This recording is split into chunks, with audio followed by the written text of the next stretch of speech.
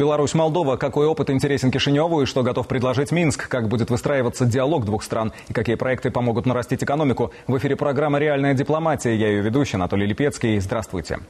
Тема программы «Молдова». Очертания границ страны на карте напоминают виноградную гроздь. Вино и правда является одним из символов страны. Почти четверть территории отдана под виноградники. Ежегодно там проходит праздник – Национальный день вина. Это небольшое государство также занимает седьмое место в мире по объемам выращенного грецкого ореха. И это неудивительно, ведь молдавский чернозем входит в список самых плодородных в мире. Страна также славится древними монастырями и гостеприимными жителями.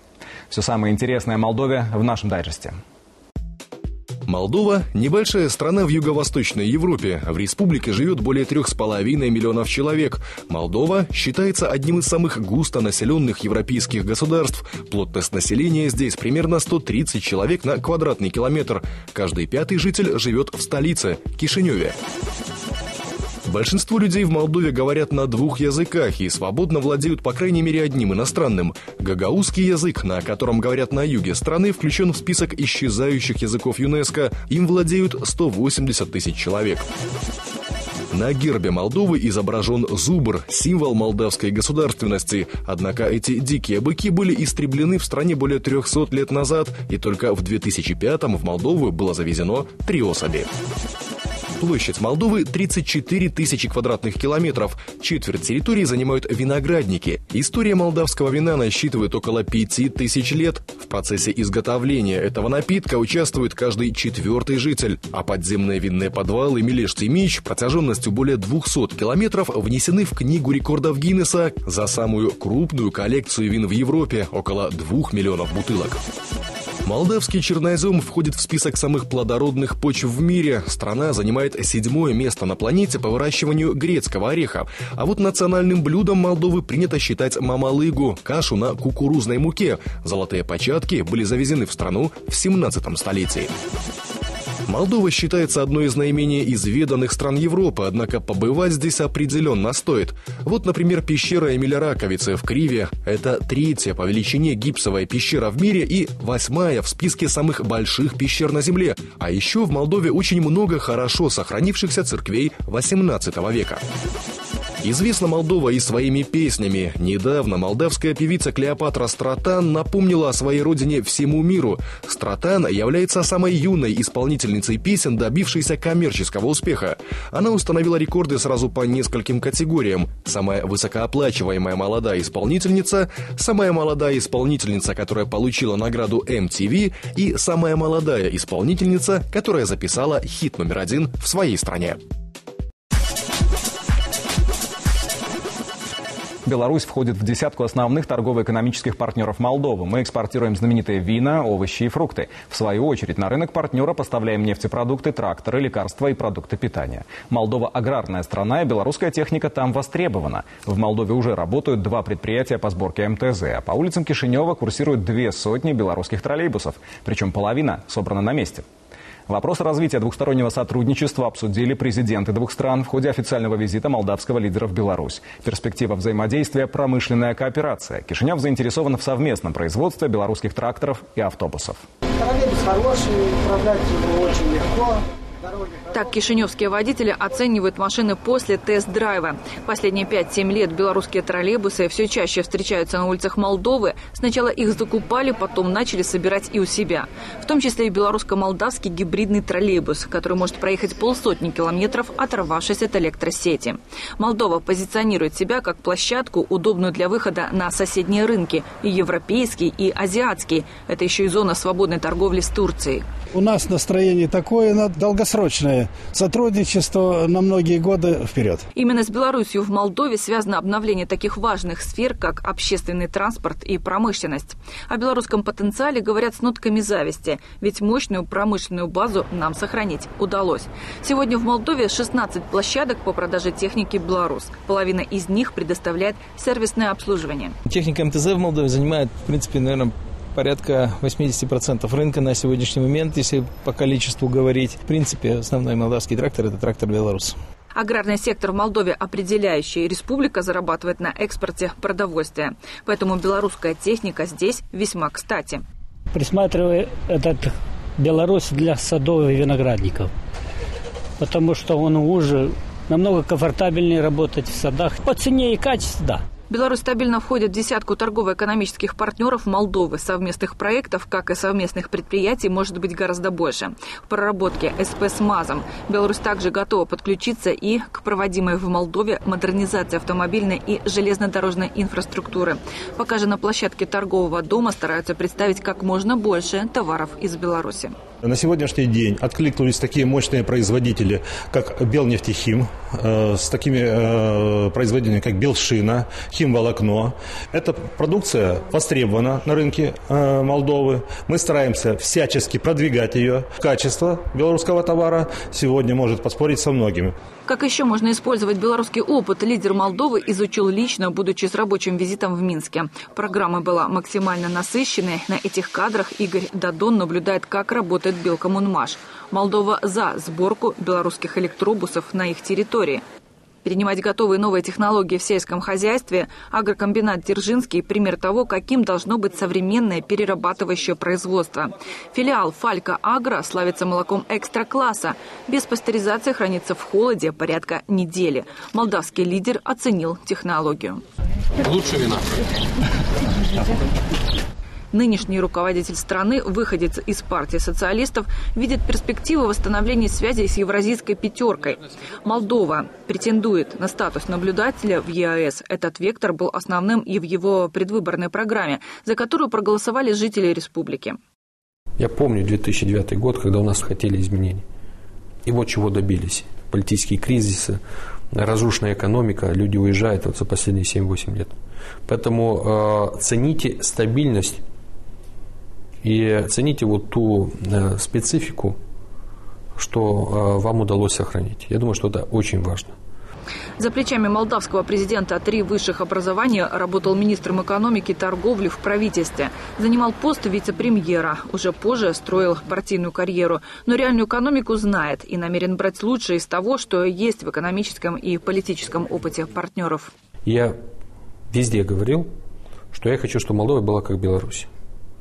Нужен сильный лидер, нужна жесткая вертикаль власти, нужно навести порядок в экономике, нужно вернуть то, что было хорошее при Советском Союзе, то, что вы смогли это сохранить, а у нас все разрушили. Нужно дружить со всеми. И с Россией, я знаю, Беларусь хочет с Западом дружить. Вот единственный выход для Молдовы это – Привет, Игорь. Привет, Привет, молодец. Ну, солнце нам привез Молдову. Да. Особенность вашего визита в том, что я вот э, отметил своими коллегами, что вы посмотрели сами Беларусь. Вы ее, можно сказать, пощупали в промышленности, в сельском хозяйстве. Вы побывали на культурных объектах. Вы увидели, как мы относимся к памяти я с вами могу уже разговаривать как с человеком, который познал Беларусь. Поэтому я вам очень благодарен, что вы побывали здесь. И еще раз подчеркиваю, если что-то мы можем для Молдовы сделать, мы это делали всегда. Мы готовы э, для вас э, в любой момент сделать все, что вы захотите, если это в наших силах.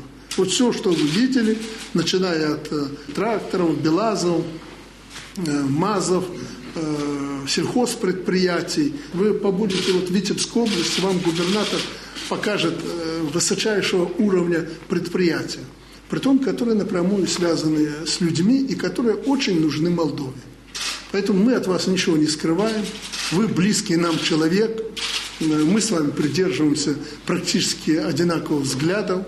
И вы помните, что мы в любой момент готовы помочь подставить свое плечо качестве президента Игорь Дадон Беларуси был впервые. Вылетая в Минск в социальных сетях, поделился уверенностью, что визит послужит сближению двух стран. Время показало, слова были верными.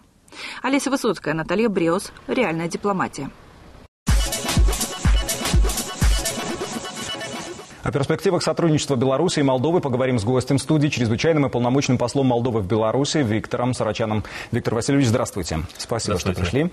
Беларусь и Молдова. Отношения строятся, естественно, на дружественной базе, естественно, на взаимном уважении. 25 лет, вот уже когда независимое государство. Как вы характеризуете этот период? 19 ноября этого года исполняется 25 лет, как был заключен договор о дипотношениях с Беларусью. Э, ну, это случилось в результате того, что э, после длительного проживания вместе э, Советской Республики были разделены. То есть каждая из них получила независимость. И это естественный шаг был после признания и после принятия декларации о суверенитете и независимости Молдовы. Естественным шагом следующим это было установление отношений с разными странами, ну, в том числе и с Беларусью. Кстати, что касается вот этого акта, он был одним из первых заключен с Беларусью, потому что особые отношения двух стран, а тем более, что мы друг друга знаем очень давно.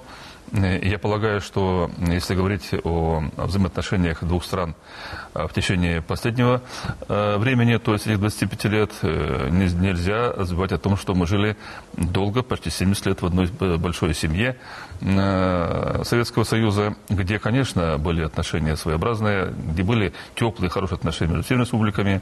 Это были большие кооперационные связи, это были отношения на уровне э, человеческих контактов. Э, и многое другое. Поэтому, конечно, э, вот то, что мы имеем сегодня, и то, с чем пришли мы э, сегодня к 25-летию, тот багаж, который был наработан, наверное, или нажит на протяжении долгого времени. Если брать этих почти 70 лет и плюс 25, это уже почти век. А век – это все-таки история и довольно, довольно немалая. И сейчас этот момент, когда был премьер с визитом в этом году, Молдовы в Беларуси. Затем э, была встреча двух президентов э, в июле месяце. А, которая положила, я так полагаю, начало вот этой какой-то новой эре в взаимоотношениях Беларуси и Молдовы. Потому что встреча была очень открытая, теплая, встреча была длительная во всех отношениях, причем даже с такими очень хорошими отеческими советами Александр Григорьевич Лукашенко. Он все-таки правит страной уже, по-моему, 23 года, если не ошибаюсь, Белоруссию. Опыт очень большой, это опытный политик, это политик, который прошел многие этапы становления Беларуси. Ему есть чем поделиться, а молдаванам есть чем поучиться Беларуси. Вот глава государства ставит перед дипломатами белорусскими экономику в первую очередь, как задачу первоочередную. Для вас здесь, в Беларуси, ваша служба, она также ориентирована в первую очередь на экономику. Понятно, что дипломат занимается всеми сферами, тем не менее, для вас. Э, вы знаете, как только я приехал сюда с, во главе миссии, это было чуть более трех месяцев назад. Э, значит, при составлении плана работы своего на ближайшие месяцы, значит, первое, что я запланировал, это объехать все регионы э, Белоруссии. Э, значит, я буквально на прошлой неделе завершил эти, эти визиты рабочие во все регионы. Осталась только Минская область, ну, это я оставил напоследок, потому что я живу в Минске, все-таки здесь больше мы общаемся и больше можно иметь информацию о том, что, какая ситуация в Минской области. Э, да, это во главу угла поставлена ситуация с товарооборотом, причем, надо сказать, что э, динамика последних лет не в нашу пользу. Э, я попытался поэтому разобраться, что же происходит, почему, какая причина. Э, ну, не привык я только пользоваться только э, информацией бумажной или с интернета, или официальной статистикой. Все же э, самая верная информация или самые верные выводы можно сделать, когда общаешься с человеком лицом к лицу. Я в этом убедился еще раз, будучи во всех регионах в центрах региональных ваших областей, где я получил тоже очень хороший теплый прием, где мы очень конкретно говорили о том, какая ситуация в взаимоотношениях э, с регионами. Причем я предложил все-таки сделать э, ставку на связи Молдова-регионы, не только Молдова, Беларусь, но Молдова регионы напрямую. Это через договора сотрудничества, это через какие-то прямые контакты. Причем, э, вот, учитывая все, что я увидел в регионах, учитывая ситуацию э, состояния экономики Беларуси и Молдовы, э, я думаю, что есть смысл, я уже предлагал кое-кому из э, ваших руководителей, чтобы мы перешли немного на новую фазу взаимоотношений в экономике. Молдова в первую очередь ассоциируется, ну, конечно, с высококачественным вином, прекрасные овощи, фрукты. Чего мы не знаем? Может быть, есть страны, которые берут от Молдовы, импортируют что-то то, чего не покупаем мы? Э, вы знаете, есть то, что очень мало покупается в Белоруссии, но известные вещи, известная продукция. Это касается, вот я сделал анализ этого года э, по сравнению с полгода первых, по сравнению с э, этим же периодом прошлого года. Да, у нас есть небольшой рост товарооборота, что, в принципе, хорошо. Но позиции такие, как свежие овощи и фрукты, упал в разы. Поэтому вот мы задаемся вопросом, что происходит, mm-hmm. почему. Товарооборот, товарооборот немного увеличился только за счет того, что э, импорт, вернее, экспорт из Беларуси э, пошел на увеличение. Особенно это касается продовольствия, это касается э, нефтепродуктов, это бензин, дистопливо.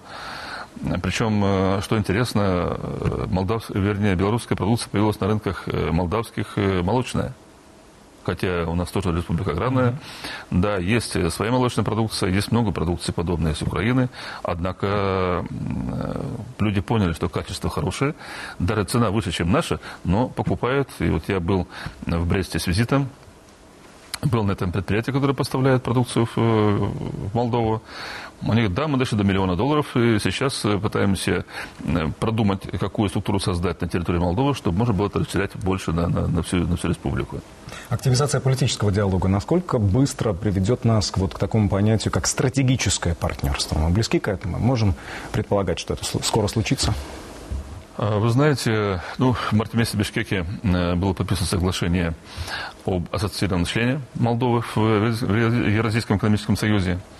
Поэтому то, о чем вы говорите, о стратегии развития отношений, э, конечно, во многом зависит от того, как Молдова будет себя ассоциировать и э, как она будет э, восприниматься членами Российского экономического союза. Это очень важный момент.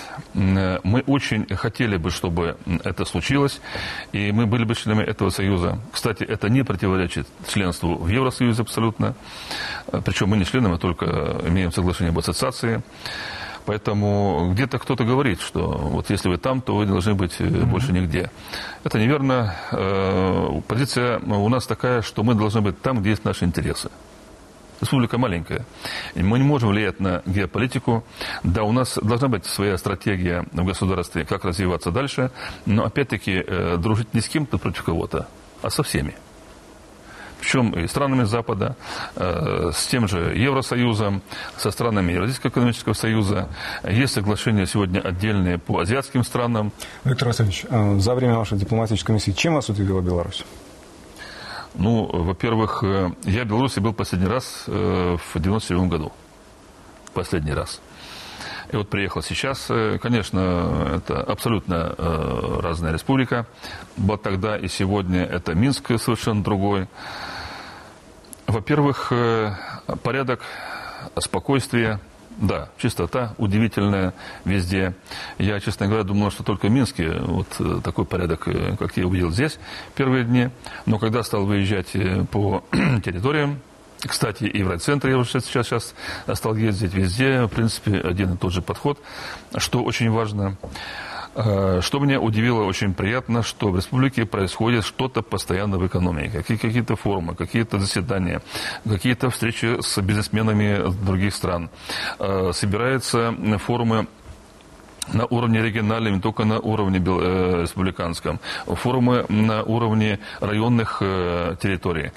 То есть э, все это находится в движении, в каком-то поиске э, решений для того, чтобы можно было поднимать экономику и продавать свою продукцию, естественно. Меня очень удивили ваши фермы в агросекторе. Это ну, просто, просто приятно было смотреть на это все. Я всякий раз, когда приезжаю в район э, и предлагают пройти на ферму, я делаю это с удовольствием, потому что ну, вот то, что сделали вы, это очень серьезный шаг, и это даст э, результат свой очень-очень быстро. Оно, в принципе, уже дает, но если начал Китай покупать молочную продукцию белорусскую, то значит, что есть качество, потому что мы знаем китайцев, как они подходят к вопросам торговли и качества.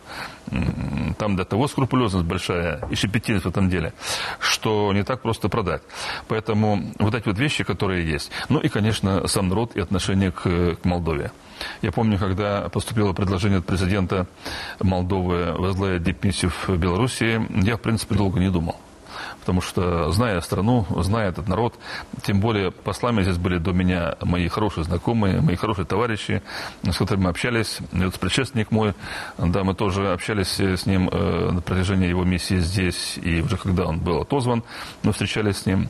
Очень много теплых слов э, о Беларуси, о людях – о том, как они живут. Э, даже есть какие-то, скажем, невзгоды или что-то не так э, получается у людей. Ну, люди терпят, э, понимают, что где-то что-то временно, а где-то будет скоро получше.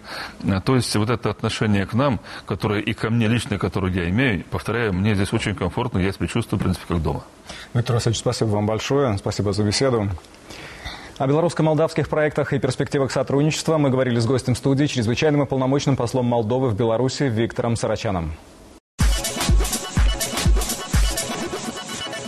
Беларусь стала вторым домом для трех тысяч этнических молдаван. Многие из них приехали в нашу страну еще в годы Советского Союза. Создали семьи, позже получили белорусские паспорта, но по-прежнему любят родину, сохраняют традиции молдавского народа и тем самым обогащают культуру Беларуси. 25 лет назад в нашей стране была организована община молдаван. Они обязательные участники фестиваля национальных культур в Гродно, концертов и праздников. Чем живут белорусские молдаване, знает Ольга Масловская. В Беларусь Антонина Валько переехала давно, вышла замуж и всем сердцем полюбила второй дом. Здесь выросли дети. Но о земле трудолюбивых предков, где зреет самый вкусный виноград, молодое поколение белорусских молдаван знает не меньше, чем о Беларуси. Во многом благодаря тому, что молдавская диаспора активно продвигает свою культуру. Белорусские молдаване не пропустили ни одного фестиваля национальных культур в Гродно. С удовольствием принимают приглашение выступить на открытых площадках. Шумно отмечают праздники народного календаря. Соблюдаем традиции наши молдавские в Беларуси. Несмотря на то, что мы уже много лет живем в Беларуси, не забываем свой родной язык, обычаи наши. Мы с удовольствием собираемся, причем не только на репетиции, в любой праздник в городе. Отмечали День независимости Молдавии. В Беларуси проживают почти 6 тысяч молдаван. Из них половина имеют белорусские паспорта. Община объединила самых активных. Создана вокальная группа «Плай». В репертуаре, конечно, народные молдавские песни.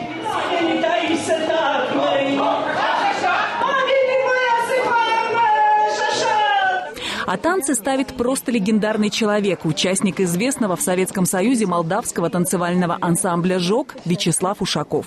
Вместе с коллективом играл в фильме «Свадьба в Малиновке», а в Беларуси организовал танцевальную группу «Приетение» в переводе «Дружба». Такой темпераментный народ – он не может сидеть на месте. Даже когда поют, они обязательно танцуют. Люди просто поднимаются из-за стола и начинают вокруг стола двигаться всей массой, которая сидела за столами. Прямо вот такой хоровод вокруг стола и делают. Весело у молдаван во время Мартишора. Праздник посвящен встрече весны отмечается лишь в пяти странах мира. Символ – красный и белый цветок. Самодельные украшения из красной и белой нитей принято носить месяц, а потом, загадав желание, вешать на первое цветущее дерево. Говорят, мечты исполняются. Как оберег хранят в семьях домотканые скатерти и рушники. Кажется, они до сих пор излучают солнечное тепло, хоть и привезены из Молдовы много лет назад. Его, наверное, еще мамина прабабушка ткала. И знаете, из какой ткани? Вот посмотрите, это из конопли. Я еще в детстве видела, как женщины, значит, там из поколения в поколение, ну, просто это вот порезано, а вообще-то ткут рулонами. И летом, когда солнышко, когда хорошая погода, значит, возле колодца они идут с этими рулонами, стирают их и потом на траву развешивают. Ну, это так красиво, это все запоминается. В общенациональные праздники молдаване добавляют свой колорит. Обязательным остается одно. В каждой молдавской семье рады гостям гостям. И в этом наша съемочная группа убедилась лично. К столу готовят блюда молдавской кухни. Овощи запекают прямо в углях. Из баклажанов делают вкусную икру, а шашлык маринуют в вине. Белорусские молдаване искренне любят свою кухню, поэтому на все большие праздники обязательно готовят молдавскую плацинду метвитей и вертуты из духовки. Антонина Николаевна, скажите, правда ли, что однажды посол Молдовы на официальном приеме отказался от ресторанной пищи в пользу еды, приготовленной вами? Это было в прошлом году. Э, был прием в честь Дня независимости, и, конечно, посол не сдался. Он захотел, он организовал всех женщин, и члены общины, и сотрудницы посольства, и мы сели, и, и, и так красиво по-молдавски приготовили голубцы, и много было, наверное, штук 800. По-молдавски это значит толокой. Фарш закручивают в виноградные листья, которые летом замораживают в огромных количествах. К слову, в молдавских селах и сейчас на одной кухне можно встретить сразу нескольких вполне дружных хозяек. Помощь соседок особенно нужна, когда в доме большой праздник, например, свадьба. Мы ездили, наверное, года два или три на свадьбу. Вот как началась вот свадьба у 4 или 5 вечера, так, и до 8 утра – Музыка не стихала ни на секунду. Свадьба огромная. Совсем скоро и жители белорусской столицы смогут оценить размах щедрого праздника. Теперь и в Минске будет проходить фестиваль молдавского вина. Этот напиток – часть культуры и истории южного народа. Поэтому даже в Беларуси, скорее северной стране, молдаване непременно выращивают виноград. Аромат Изабеллы – это напоминание о родных местах и самое лучшее угощение для белорусских друзей. Ольга Масловская, Григорий Криштофович и Александр Берецкий. Реальная дипломатия.